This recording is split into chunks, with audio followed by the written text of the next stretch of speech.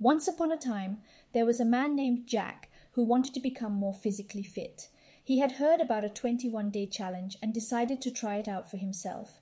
Jack set a goal of exercising for 30 minutes every day for 21 consecutive days.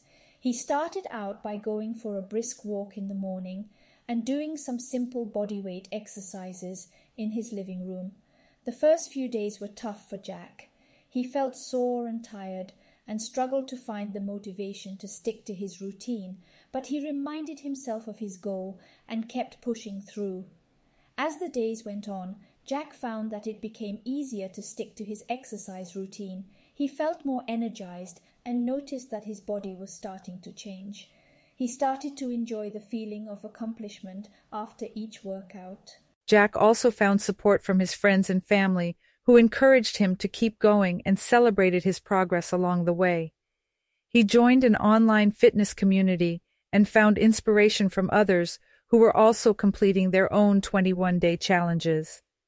Finally, after 21 days had passed, Jack had successfully completed his challenge. He had exercised for 30 minutes every day without fail. He felt proud of his accomplishment and was amazed at how much he had been able to achieve in just three weeks. But Jack didn't stop there. He continued to exercise regularly and even signed up for a local 5K race. He realized that the 21 day challenge had been the kickstart he needed to make a lasting change in his life.